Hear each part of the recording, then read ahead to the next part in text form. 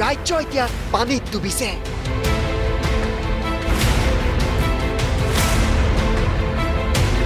চৰকাৰে কিন্তু ফূৰ্তি কৰিছে।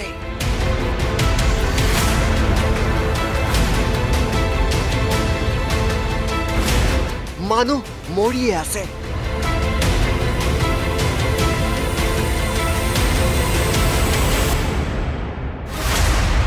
বানপানীয়ে সৰ্বনাশ মাতিছে।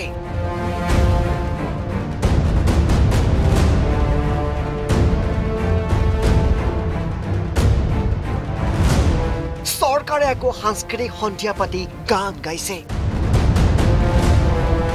স্বাধীনতা দিৱস উদযাপন দেশৰ বাবে এটা গৌৰৱৰ বিষয়। কিন্তু ৰাজ্যৰ এই ভয়ানক বিপৰ্যয়ৰ মাজত তিনিদিনীয়াকৈ দিৱস পতাৰ যুক্তি ক'ত? কেৱল কেন্দ্ৰীয় নেতৃত্বক তৈলমৰ্দন কৰিবৰ বাবেই তিনিদিনীয়াকৈ দিৱস পাতিছে ৰাজ্য চৰকাৰখনে।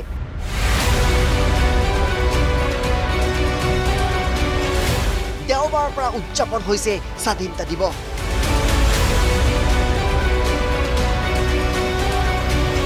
যি সময় প্ৰশাসন যন্ত্ৰটোক ৰাইজক উদ্ধাৰ আৰু সাহায্যৰ বাবে ব্যৱহাৰ কৰিব লাগিছিল সেই সময় বিষয়া কৰ্মচাৰীসকল ব্যস্ত হৈ আছে সাংস্কৃতিক সন্ধিয়া পতাত।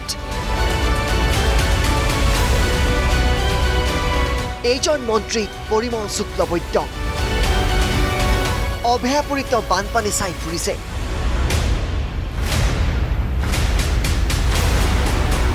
কেমেৰা দেখি পানীটো নামিছে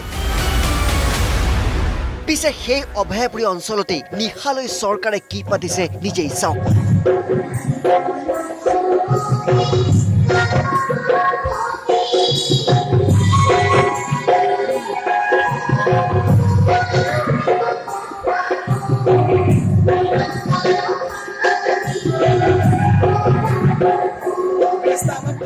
শালমৰা মহকুমা প্ৰশাসনৰ উদ্যোগত এই সাংস্কৃতিক অনুষ্ঠান।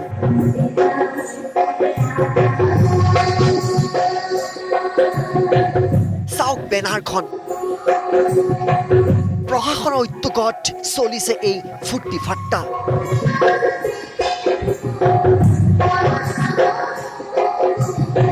অথচ দিনৰ ভাগত কেমেৰা দেখি সেই অঞ্চলতে পানীত নামি দেখুৱাইছিল মন্ত্ৰীয়ে। কলকাছিয়াতো একেই ফূৰ্তি সকলো চৰকাৰৰ নিৰ্দেশত পতা হৈছে।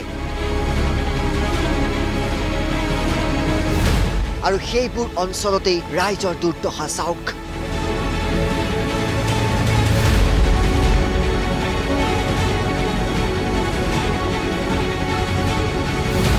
ইয়াকে লৈ সৃষ্টি হৈছে ব্যাপক প্ৰতিক্ৰিয়াৰ।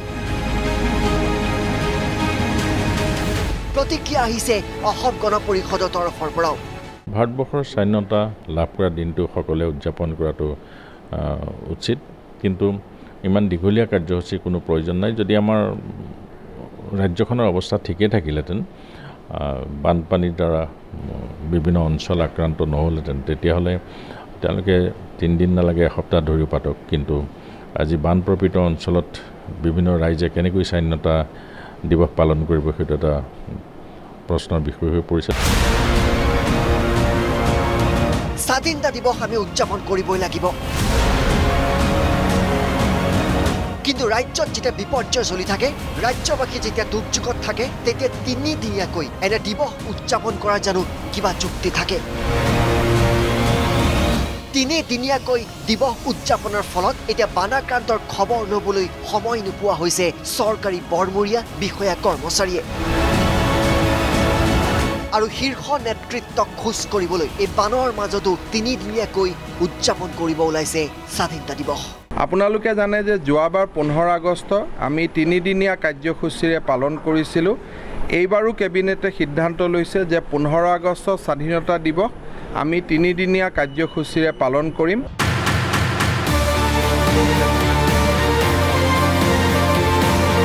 ব্যুৰ' ৰিপৰ্ট টক্স